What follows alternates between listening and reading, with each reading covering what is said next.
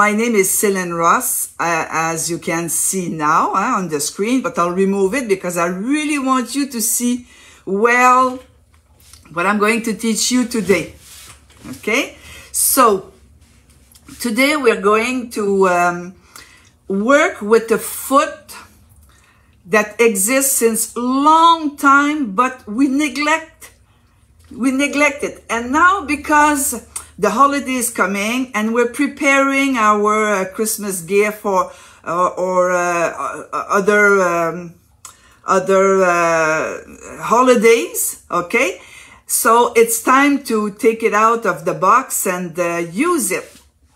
So Fringe foot has two use. It can be functional and it can be decor decorative. Okay. So I'll switch the camera. Okay. And okay. You see, okay, yes, I'm seeing, uh, I'm seeing good. Okay. So this is the fringe foot. It's not the snap-on. We have high shank and low shank, but it's exactly the same foot, okay? The shank is this height here. So before you um, you order it from uh, your dealer, make sure you give him the, the right uh, sewing machine model, okay? So I'm using today the M7 and what I'm showing you, it works for every, every Janome model, electronic, non-electronic. What are we using? We're using a zigzag, simple zigzag, and an over, should I say overcast, this stitch here. Over edge, overcast, okay? From our machine and a zigzag. And today I will use also the triple stitch because I want to show you a few variety of uh, versatility of the foot. So what I did here, you remember we use this panel to do uh, sequence, uh, attaching two, uh, couching two thread, three thread. But you know, after we did something, we did one of technique, we can embellish it with fringe. Two type of fringe, loop and cut. Okay, you see here, it's like it needs a needs a not a haircut, but it needs a a comb. Okay, loop, cut. Very easy to do. So this is not a mistake here.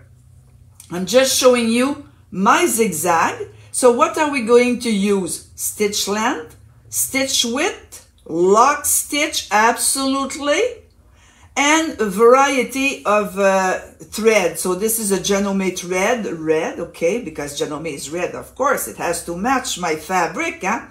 And I use um, Madeira thread from Janome also. Janome Canada um, uh, is uh, a distributor of uh, those threads. So I use the polyester and the cotton and you see the result. You'll see the result, okay?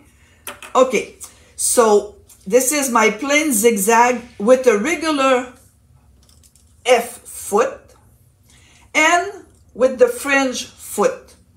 So I did it here just to show you without doing the technique, just to show you what's gonna happen, okay?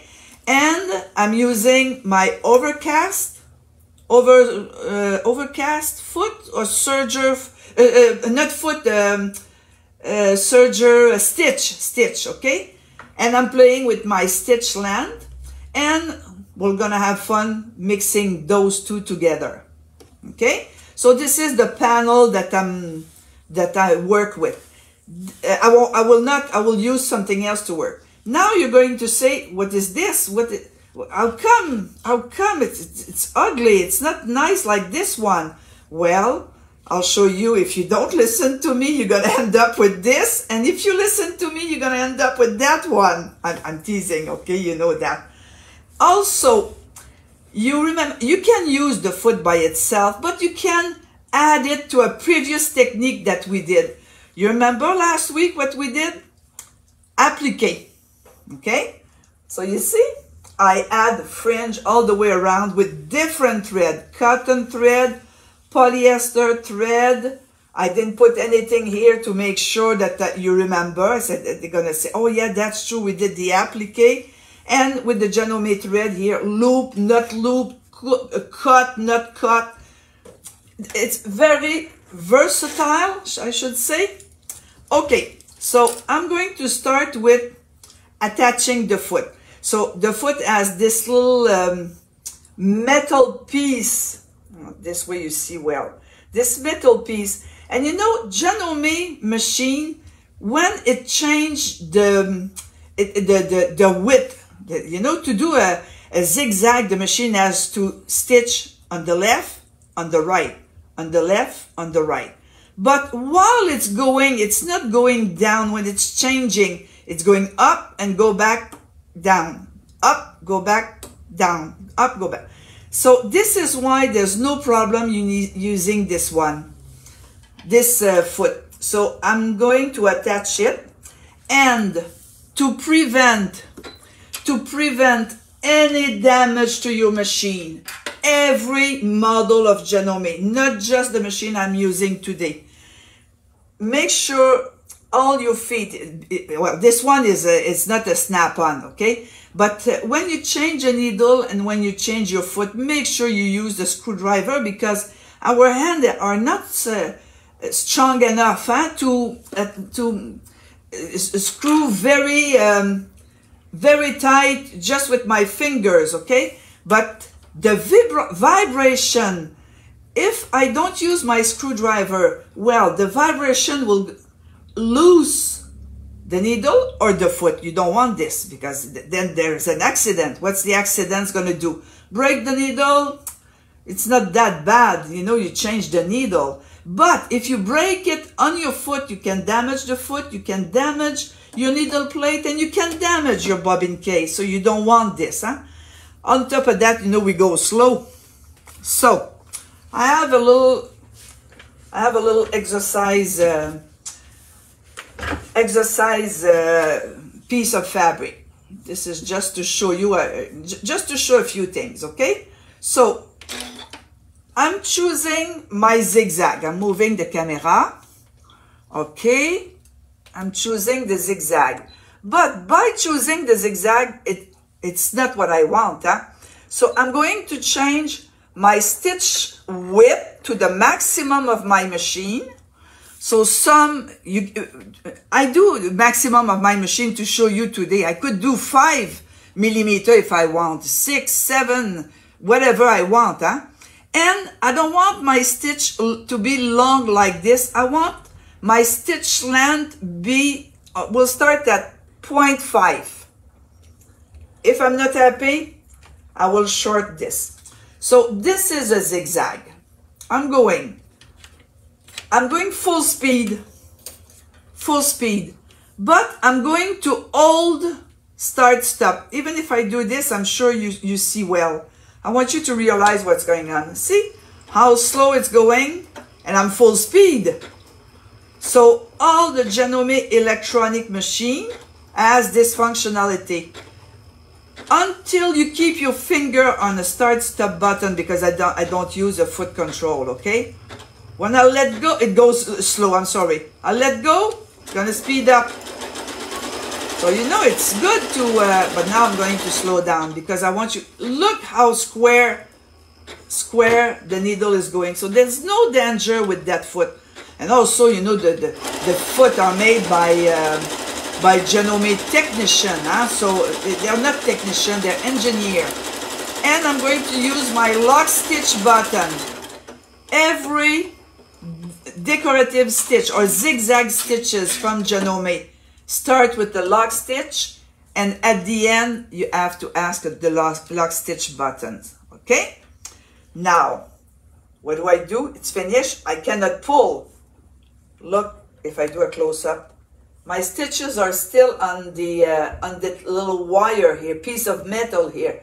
So I push it at the back. I use my thread cutter and I'm okay. I can pull out the um, the fabric. So this is my starter thread. I'm going to remove it. And this is my stitch. But it's not strong enough. Look, look at the back. Okay? Look at the back. It's not secure. So if I cut my thread, everything will fall apart or it's going to do loops like this. You, when you pull the thread, or you know, it's not secure. So what am I gonna do here? I'll change, yeah, I need uh, screwdriver. I'm going to attach my F foot, F1. I don't like F2 for this because the um, the um, loops will will will be cut in here. If you have an iron, oh, you see exactly what I told you with the, with the tip of my scissors. So what I want to do with my finger or an iron, okay, I'm pushing on one side because this is not strong enough. How can I make it stronger? Okay, triple stitch and short the stitch length. I'll do 1.5. But I will move my needle to the left, you'll see, because I'm, I want to use the side of, okay, put down, and and I want to sew right into the middle, huh? So I'm moving my, my needle to the left. Okay, I want to catch everything up, make sure. Okay, I want to catch. So I want, what do I want to do? Triple stitch is very secure. Huh? I want to stitch the beginning here. You see, I'll slow down because I want to make sure I put my stitches down. You see?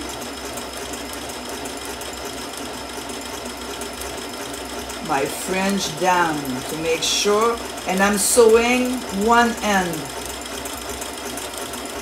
lock stitch at the end. Cut the thread. Cut the sewing thread. Okay. So this is the beginning of my uh, this is a mistake. Okay. So here's my loop. If you want whoops, if you want your fringe to be cut like this, you know, to be cut here, you can cut your fringe on the right side of the fabric. You see? Look at this. Either foot I'm going to use, either stitch I'm going to use, it's the same thing. Okay, I'm cutting here so it's cut. Except maybe once in a while. It's a bit messy, you know. And sometimes you have some longer than the other one. And on the um, on the wrong side of the fabric, uh, and I forgot to tell you, you have to stabilize your fabric. Yeah? Or I use Terial Magic or Tearaway Stabilizer. And this, you know, I can, whoops, my foot is gone. Can you believe this on the floor? It's, it's a bit messy, okay? So this is one technique. The other technique is, let me get my foot, which is on the floor in front of everybody during a live. Okay. Okay. Now, let's make it, I shouldn't say easier. This is not the right word it's, it's another technique. Let's say you want narrow, so a narrow fringe, maybe you prefer to use this technique. If you want wide, maybe you prefer the other, the technique I'm going to show you. This one is easier because it's only one operation. Always hold your hold your fabric. It's always like this, always a bit messy because we cut, okay? This time, I'm going to use this overlock stitch, okay? I'm going to make them closer. Uh, I'll try, I'll start with 0.6 or even 0.5, it's nice. but you have to decrease your tension. Okay? I'm doing 1.6. You can try 1.5. Always depend of your um, of your thread and your fabric. So again, foot down. I'll go slow. See? Ah, well, they're slow and slow, huh? okay, you see? And then it's going good. Okay, let's go. Ah, it's too close. So I go 0.6. I, let go my machine. You, you think it's not going, but uh, the needle is moving a lot, huh? And it's going to be really dense. If, if you use a thicker fabric, you have to uh, change your stitch length for a longer stitch. This time I'm going to do not a cut fringe, a loop fringe. You can do it also with the same uh, either foot, either technique. See the loop here? You can curve also if you want, huh? Just curved before. And at the end, I'm using my lock stitch button. Okay. Again, I have to wait. It's cutting my thread because I asked the machine. And you see my threads are still on top. Push it to the back okay and then this goes over okay this is my start the thread from the beginning and now I want my loop I don't cut on top I don't cut on the right side of the fabric I will go under the fabric on the, on the wrong side of the fabric and I will cut near my sewing my sewing is See, how did I do this? Like that. Okay. I don't want to cut the wrong one, huh? Okay. On the same one, I'll do two technique so you'll see better. So I'm going just underneath. It's easy to go underneath because I I uh, remove the uh, I, no I um, my thread tension I uh, loosed my thread tension it's here so you see see my loops Look at my loop. Okay? And if I don't want my loop, I'm coming on my, I better remove them all. I don't want to make a mistake. Okay. And then I want the cut fringe, well, on the right side of the fabric. There's many varieties. So you see, loop, no loop. See the loops? I hope you see well. Maybe if I do it, ah, yeah, now you see well. See the loops, and here it's cut. So it depends where you want to cut them and the effect you want to give.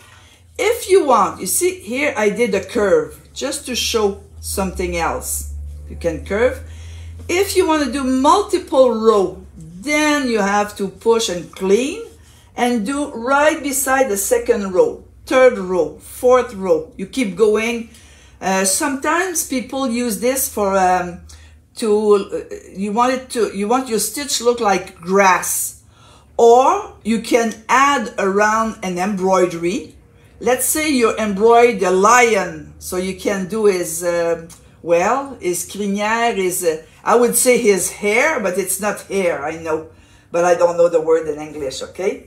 So you see you have two two different uh, way of having your loop or your cut fringe, okay?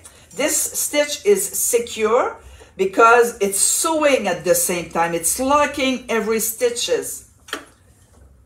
Okay, another thing I'm going to show you with that foot.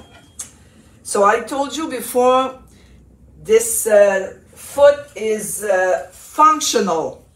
So let's say you have a dart and you want to do your um, I wrote it down I'm sorry your your tailor bridge or tailor tack okay so with this foot it's easy if you have one dart of course not but uh, you know if you have uh, the bust line and the waist and the hey sometimes uh, uh do it by hand so what I do here just my zigzag again, okay? Large, as large as possible with your machine. And, whoops, no. Let's say that close. And you don't need so many, so you just go over the your your your mark and I'll go slow. Look, your machine is locking the stitch by itself. It's pre-programmed like this by Janome. So you don't do 20, yeah? Okay, and then lock stitch. Lock stitch at the beginning and lock stitch at the end. At the beginning, it's automatic. At the end, you ask. You removed, you remove your, okay? And then you open it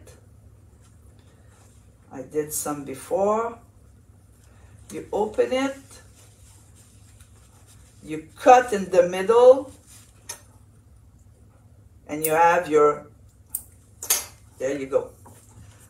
So you see, you have your mark.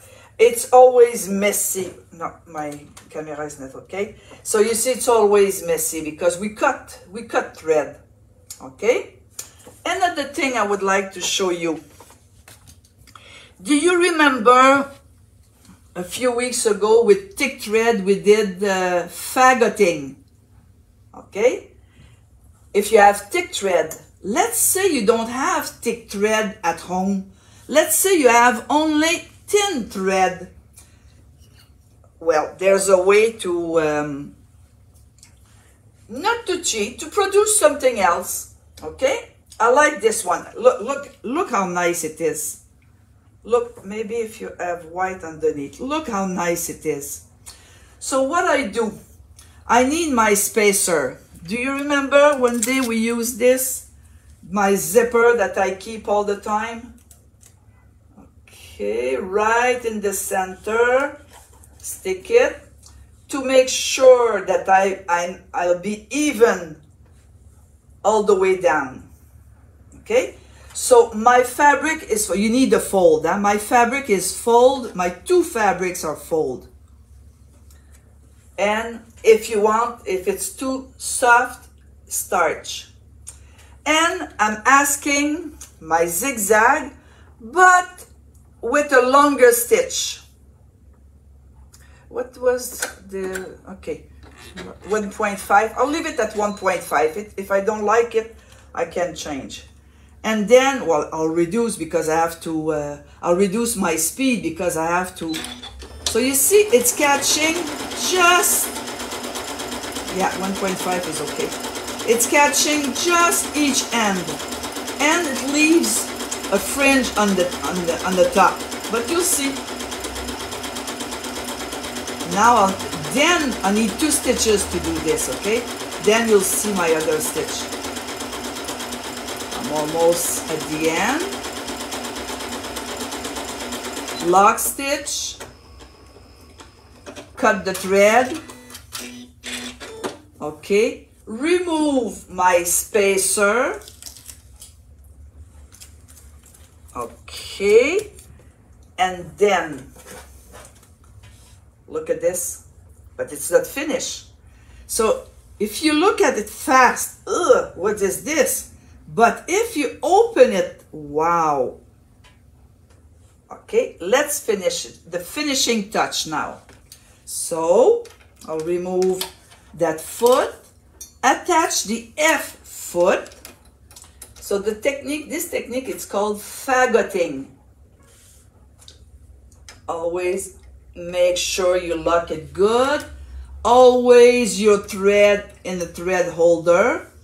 And this time, I'll change for feather stitch. Feather stitch is this.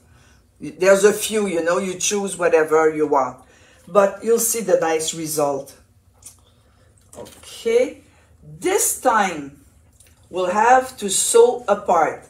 I'll reduce my speed, lower my foot, and the fringe, the opening has to be in the center. You know you have this red arrow uh, on the foot here, so it has to be right in the center of the foot. And you go lock stitch, and as you go, it's going to twist the thread together. You'll see how nice it is. So you see, I open the seam or the fringe, call it the way you want. Okay, I didn't change, I didn't do any change to that stitch. I didn't change the um, the length or uh, the the width. I'll let it go.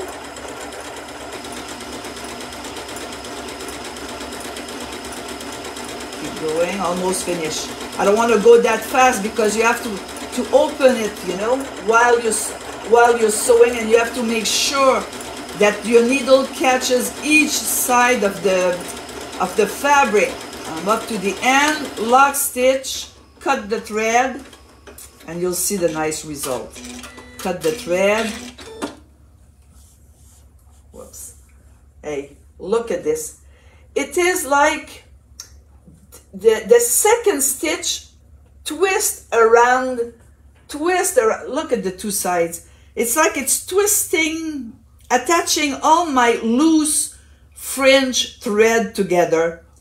So you see, uh, and the work is even, even, really even. Oh, am I good? um, no, I'm happy. Okay. And of course you need an iron, huh? Okay. So this is a little bit what the uh, the foot is this foot is doing so I'll turn the camera um, I think it's here. Okay I hope I did okay. Yeah okay.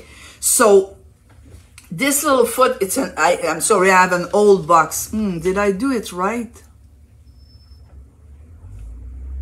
Yeah I did it right. Okay. So um, you know, camera teaching, uh, uh, the machine. Whew, it's a lot. Okay, you're always not secure, huh? So this is just a few little things that I'm teaching you, that I showed you, not teaching, showed you, okay?